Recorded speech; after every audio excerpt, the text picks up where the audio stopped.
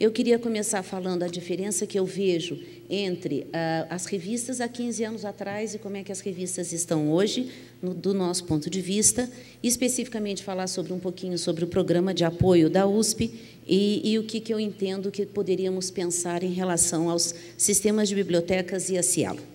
Uh, eu gostaria de começar falando, principalmente porque eu entendo que eu, né, embora seja da Universidade de São Paulo, eu meio que poderia pensar que eu estou representando todos os portais brasileiros das revistas aqui presentes. E eu gostaria de comentar que há 15 anos atrás nós tínhamos as nossas revistas predominantemente impressas, Uh, nós não tínhamos as tecnologias apropriadas para que a gente a transformasse para as eletrônicas. Nós tínhamos uma fraca participação das instituições de vínculo, isso forçava com que os nossos editores tivessem uma proatividade ainda mais presente, e os fomentos e os apoios majoritariamente eram oriundos do CNPq. E como é que nós estamos hoje? Hoje nós estamos com uma situação bastante diferenciada. Nós temos uma predominância de revistas eletrônicas, ainda existem algumas revistas impressas, dependendo da área do conhecimento, mas o mais importante é que hoje nós temos uma grande diversidade de plataformas ah, digitais em uso no país. Eu não sei se os senhores sabem, mas o, o Brasil é o, maior, é o país com o maior número de revistas utilizando o Open Journal System hoje. Nós temos mais de mil títulos já com essa plataforma.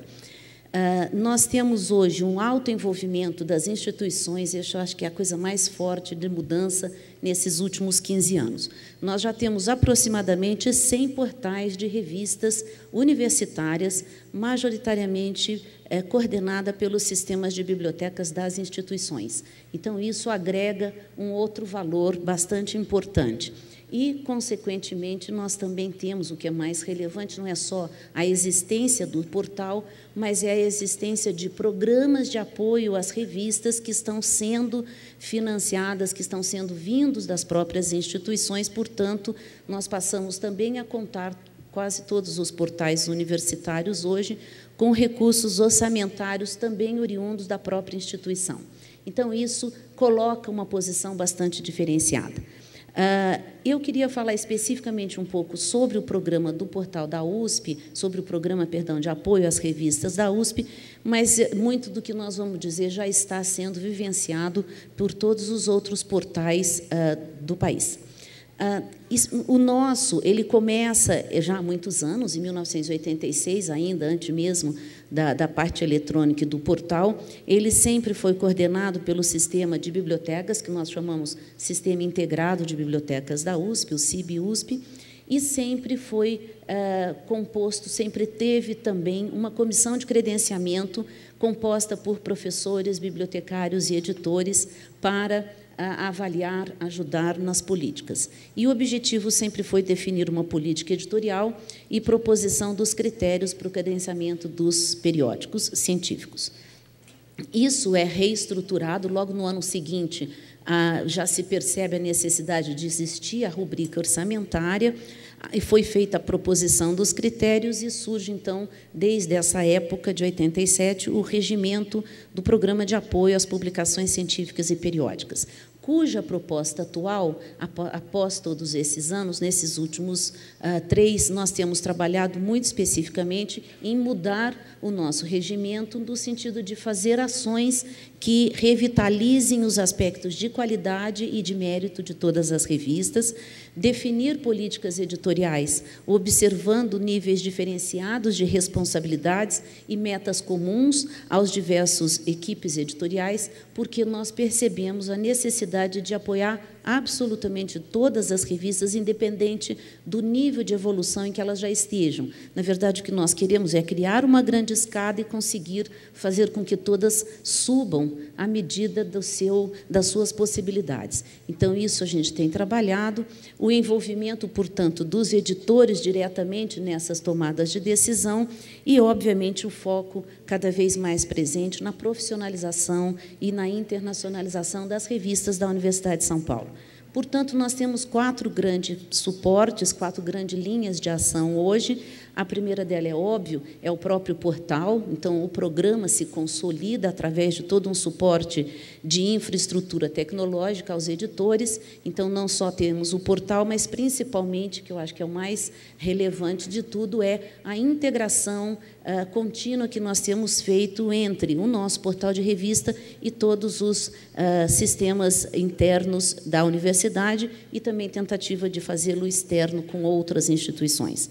Obviamente, um problema de formação também dos editores, não é como é que nós vamos acompanhar toda essa evolução. Uh, os editores eles têm tempo né, de, de, de prazo para ficar nas suas revistas, então, como é que nós mantemos a formação de futuros, como é que nós trabalhamos com isso.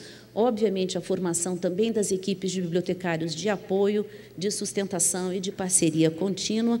E o que eu já falei é a nossa última da profissionalização das revistas, profissionalização e internacionalização. A nosso portal de revista ele começa em 2008 com a metodologia Cielo, mas em 2012, o ano passado, nós mudamos para também a plataforma do OJS pelo foco mais voltado à orientação na automação do fluxo das revistas. Nós queremos e é necessidade das nossas equipes de trabalharem dessa natureza. Então, nós mudamos. Só para vocês saberem, hoje, ah, na USP, nós temos mais ou menos uns 200 títulos de revistas científicas correntes. Nós já estamos com 108 no portal e estamos com mais 30 em processo de credenciamento, e dessas nós temos essa distribuição. Obviamente, um dos grandes objetivos é indexá-las nos maiores nas maiores bases possíveis, não são só nacionais como internacionais. Nós pegamos só as maiores, mas basicamente ah, nós também temos várias indexações em bases de áreas específicas. Também trabalhamos, como eu já comentei bastante, a interoperabilidade, né? a formação, opa, essa é importante, formação dos editores, nós estamos fazendo ações sistêmicas em relação a isso.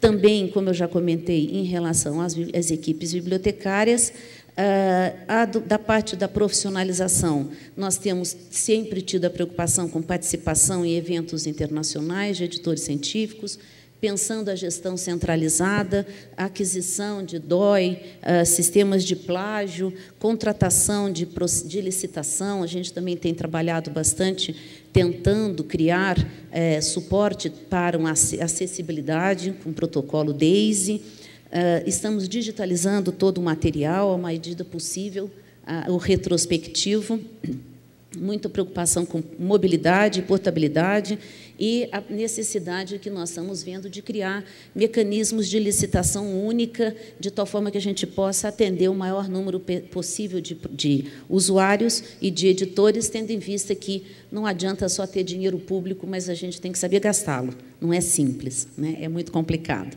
Bom, uh, portanto, nós temos aí um investimento enorme das bibliotecas. Eu acho que tenho muito apoio em todos esses sentidos na formação de todos eles, que como já foi comentado. Mas especificamente para terminar, eu gostaria de comentar que eu acredito que o momento agora, e eu agradeço demais o convite do Abel e da sua equipe para participarmos, porque nós entendemos agora a necessidade, já terminei, de integrar oficialmente os nossos portais institucionais e o projeto Cielo tanto do ponto de vista técnico, né, de nós termos aí os portais falando entre si, os repositórios institucionais falando entre si, mas principalmente também do ponto de vista da redefinição das políticas, de, das estratégias e uma política clara para que a gente acompanhe, tendo em vista que do, os dois grandes movimentos têm que trabalhar paralelo.